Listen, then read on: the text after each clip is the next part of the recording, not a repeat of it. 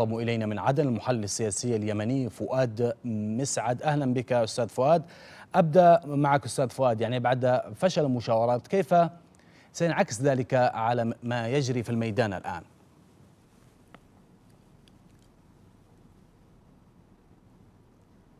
مرحبا أخي الكريم. الحقيقة أن هذه التطورات التي ارتبطت يعني بالتحول الذي شهدته المفاوضات وهو يعني إعلان المبعوث العمومي لتعليق هذه المشاورات أو فشلها بشكل أو بآخر. هذه التطورات تأتي للتأكيد على أن الحل العسكري والحسم العسكري في الميدان هو ما يجب أن أن أن يتم. هذه الميليشيات لا يمكن أن تحترم أي عهد أو أو أو ميثاق أو أي اتفاق سبق لها واخترقت جميع الاتفاقات التي أبرمت لم تلتزم بأي منها.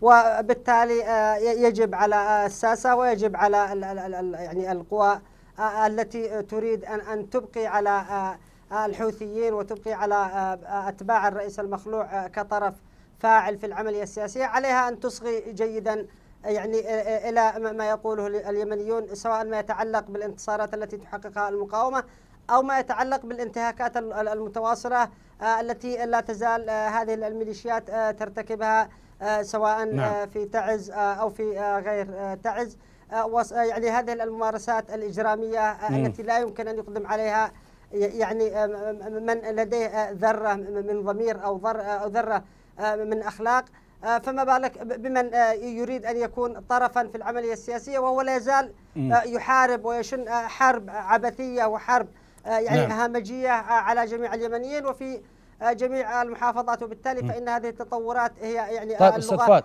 المقبولة وهي اللغة المعقولة التي لا يعرف الحوثيون غيرها. هناك تقرير صادر عن ائتلاف الإغاثة الإنسانية بمحافظة تعز. تحدثت أن محافظة تعز أيضا تعيش أوضاعا إنسانية بالغة السوء منذ بدء الحرب عليها وانتهاء وانتهاء بالحصار الخانق على مداخلها. واكد التقرير أيضا أن خدمات المياه والكهرباء والنظافة لا تزال منقطعة عن المدينة، سؤالي هنا أستاذ فؤاد يعني أين المنظمات الإنسانية التي تتكلم عن حقوق الإنسان؟ عن تعز.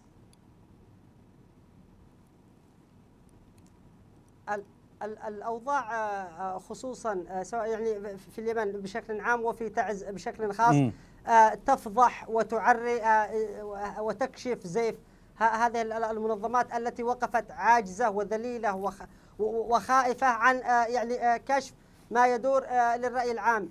منظمة دولية عريقة لم تكشف عن أن الحوثيين صادروا جميع المساعدات التي قدمتها وهي أكثر من 130 شاحنة مساعدات ولكنها لم تجرؤ على القول أن هذه الميليشيات صادرتها قبل حوالي شهرين أو ثلاثة أشهر منظمة أخرى تتحدث يعني عن عشرات الاختطافات أو عشرات الاعتقالات وهي تدرك أن نعم. في سجون الميليشيات أكثر من من عشرة ألف سجين ومعتقل ومختطف بالتالي يعني حادث المنظمات التي لا ندري من أين تستقي معلوماتها أو لعلها تستقي المعلومات بشكل طبيعي لكنها لا تجرؤ على كشفها للرأي العام. هذه الأوضاع التي طب. تعيشها محافظة تعز تكشف كيف هذه يعني هذه المنظمات عاجزة حتى على أن تكشف موقفها طيب. هي لا تجرؤ حتى أن تقول من الذي أنت أثرت نقطة هنا أستاذ فؤاد مهمة. أثرت نقطة مهمة أستاذ فؤاد. أنت تحدثت أنها أنها خائفة ولم تجرؤ عن إعطاء المعلومات الحقيقية. لماذا برأيك خائفة ولماذا لم تجرؤ عن إعطاء المعلومات الحقيقية؟ سواء في تعز أو في المناطق الأخرى في اليمن. وهي وهي تعاني.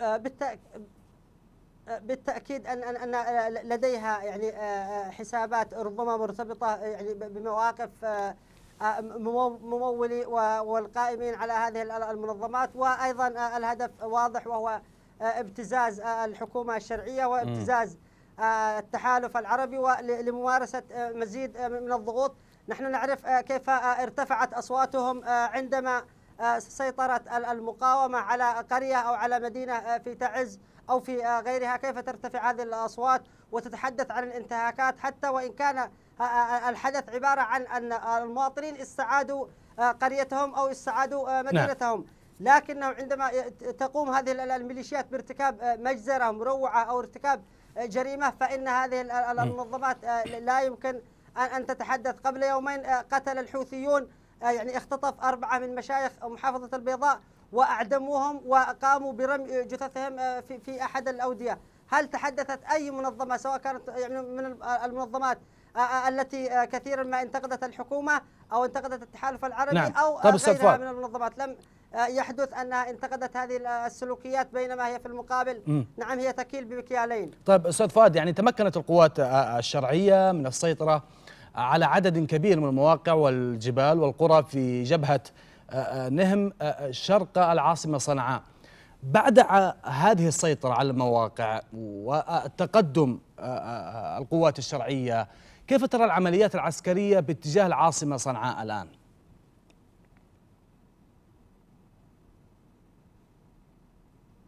هذه الجبهة هي من أهم الجبهات آه يعني على مستوى جميع المحافظات اليمنية آه لأنها بسيطرتها على هذه المواقع خلال 24 ساعة الماضية وهي تقترب من آه مركز آه بني حشيش. هذا مركز بني حشيش يعتبر آه الخزان آه البشري الذي ظل يمد الميليشيات الحوثي آه طوال أكثر من سنة.